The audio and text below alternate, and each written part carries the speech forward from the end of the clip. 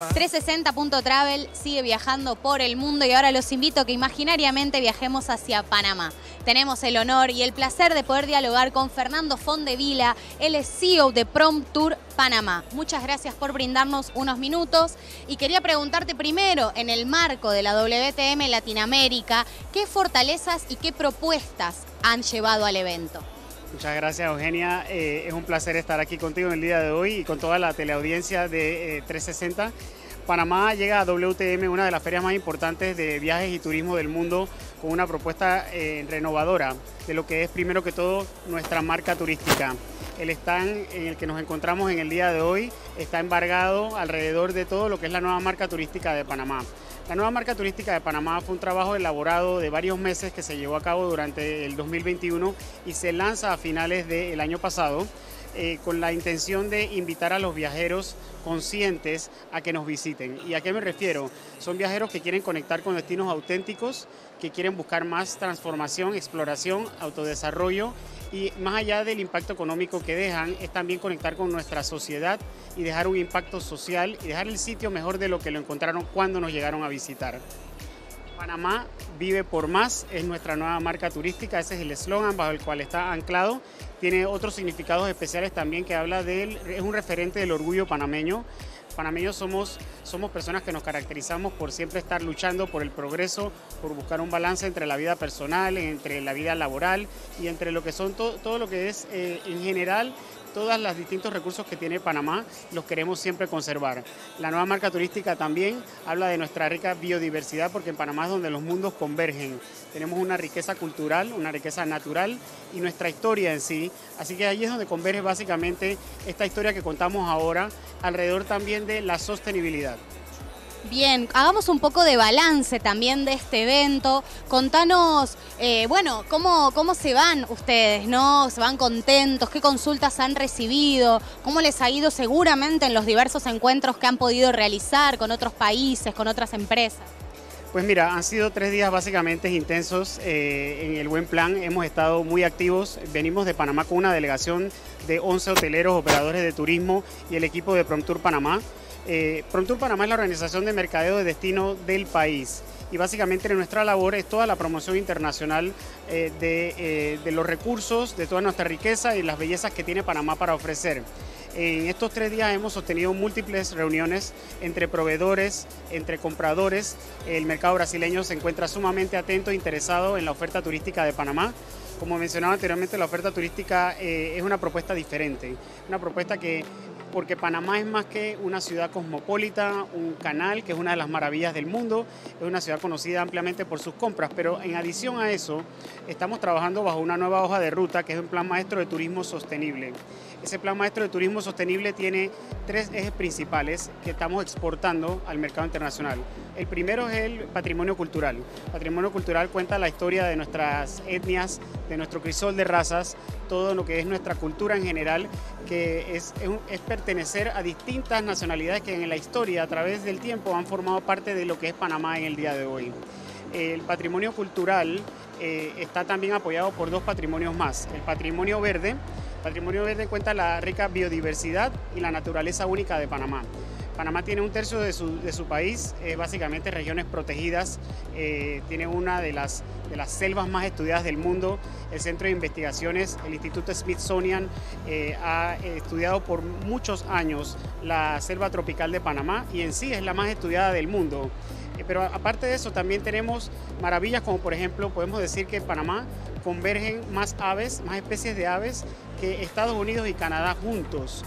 Cuando Panamá emergió de los océanos hace millones de años, cambió toda la, biodiversidad y la naturaleza del mundo y esa es parte de la historia que queremos contar en el patrimonio eh, natural o patrimonio verde. También tenemos el patrimonio azul, que cuenta la historia de eh, estar bañados, bendecidos por dos océanos. Tenemos playas paradisíacas y tenemos una amplia riqueza marina tenemos también muchas áreas protegidas, una rica flora y fauna a través de todo lo largo y a lo ancho del país. ¿Qué significa para ustedes el mercado brasilero? El mercado brasileño está entre los principales a los cuales estamos haciendo la, eh, el mercadeo internacional, toda la gestión en general de, invitar a los, viajeros a que nos conozcan. Eh, Panamá está haciendo unos esfuerzos particulares, como decía, eh, dirigidos a los viajeros conscientes. y estamos haciéndolo en particularmente, de acuerdo a nuestra hoja de ruta, en nueve países. Esos países están divididos básicamente en bloques y está dado por su conectividad primero que todo. La conectividad, la población, el tamaño de la población y cuántos dentro de esa población representan viajeros conscientes. Si hablamos de Brasil, eh, es el tercer país en importancia en el cual estamos dirigiendo nuestros esfuerzos de mercadeo y venta internacional. En este país, más de 300 millones de habitantes, eh, aproximadamente 125 millones son considerados, de acuerdo a los estudios, viajeros conscientes. Eh, por lo tanto, aparte de eso, la conectividad que tiene Brasil con Panamá es muy amplia. Hay, una serie de ciudades que conectan más allá de Sao Paulo, Río de Janeiro y Brasilia, eh, que permite múltiples incluso frecuencias en un solo día. Es decir, la capacidad que tenemos entre ambos países se presenta óptima también para invitar a los viajeros brasileños a que nos conozcan. Me, interesa mucho, me parece obviamente muy positivo todo el énfasis que están poniendo en el turismo. Eh, vos me dices un turismo más consciente, ¿verdad? Esto también, además de la, de la obvia necesidad de que todos y todas podamos eh, dar vuelta ¿no? nuestra forma de viajar y transformarnos en estos viajeros conscientes, también tiene que ver en un pasado de Panamá en el que quizás esto no sucedía o que ustedes veían que afectaba un poco al destino. Eh, pues básicamente, como te decía, tenemos un enfoque diferente. Eh, siempre hemos le dado la bienvenida a todos los visitantes internacionales. Ahora lo que estamos invitando a los visitantes cuando vengan a conocer nuestro, nuestro bello país es que también nos apoyen, colaboren para la sostenibilidad, para cuidar los recursos. Eh, creo que es un tema, una materia que todos básicamente hablamos a diario, pero Panamá está muy enfocada en invitar a los viajeros conscientes, a invitar a los turistas internacionales a que cuando lleguen a nuestro país también junto con los panameños nos ayuden a conservar nuestra naturaleza única, nuestros recursos culturales e históricos, eh, todo ese legado que tenemos como país. Entonces, dicho eso, eh, Panamá ha tomado una iniciativa a través de la Autoridad de Turismo de Panamá y también a través de la Organización de Mercado de Destino en ser líder en la región, básicamente en invitar a otros países que se unan a otros ministerios de turismo en una iniciativa conjunta, básicamente un trabajo de equipo en que compartamos mejores prácticas de sostenibilidad, en que lo que tiene que ver materias de innovación en esa misma dirección, pues sea un elemento, digamos, de, unión entre las naciones para que juntos no solamente cuidemos a Panamá, pero cuidemos al resto de los países de la región. Así que esa declaración eh, lo que permite ahora es unir esfuerzos en particular y en eso es lo que estamos trabajando. Eh, la misma fue firmada recientemente en el mes de febrero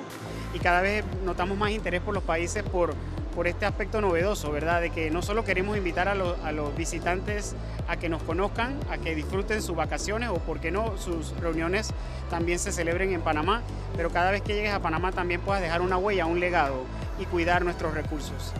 Mencionabas también la conectividad y recientemente está creciendo mucho, se están recuperando muchas rutas aéreas y están surgiendo nuevas.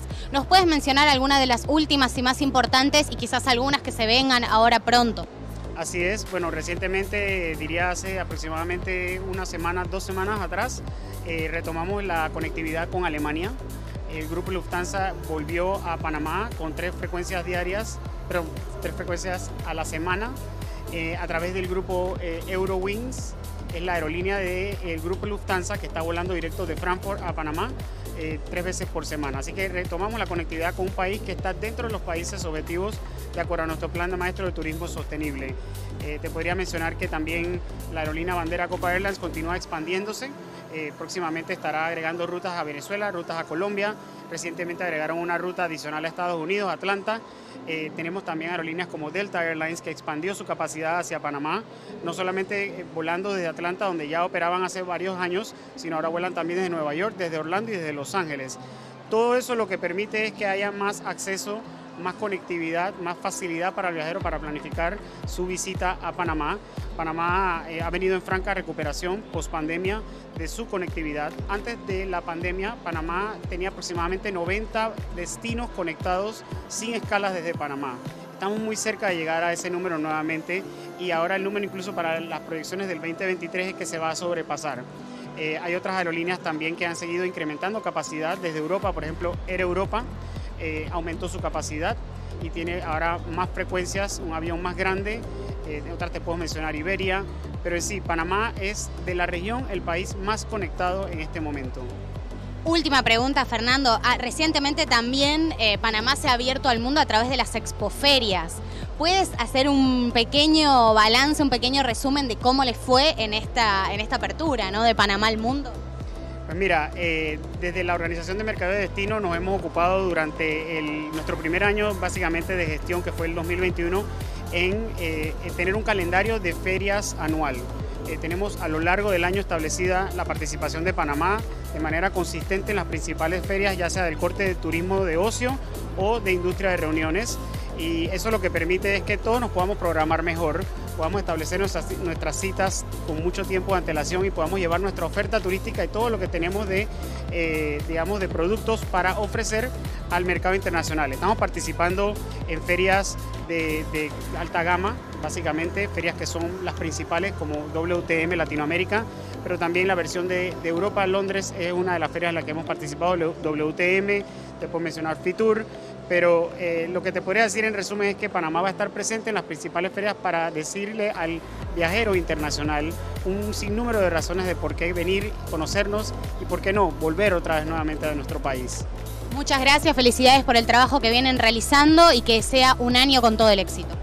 Muchísimas gracias nuevamente a la audiencia y los invitamos con brazos abiertos a que planifiquen su próximo viaje a Panamá. Nos pueden visitar directamente en la página de referencia visitpanama.com donde tenemos toda la información sobre todos nuestros productos, servicios, la oferta turística amplia que Panamá tiene para ofrecer.